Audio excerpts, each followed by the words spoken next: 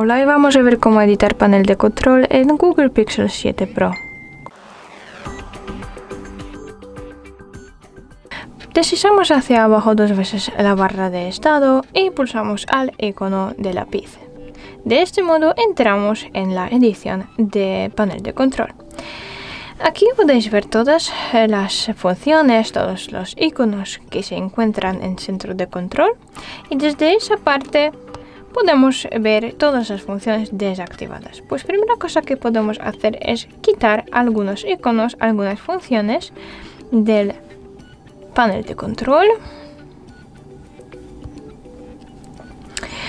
Además podemos añadir nuevas funciones.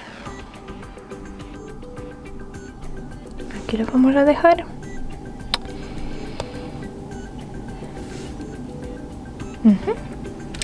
Y también se puede reorganizar los iconos.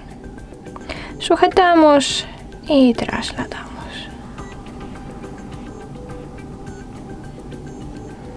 Bien, si todo está listo, pulsamos al volver y aquí os presento un nuevo panel de control personalizado por nosotros. Es todo, muchas gracias por ver el vídeo.